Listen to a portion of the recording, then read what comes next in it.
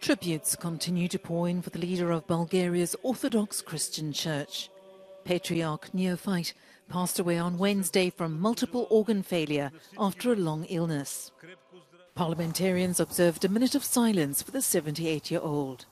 He was the first elected head of the church in the post-Soviet era and sought to restore its reputation tainted by links to the communist secret police.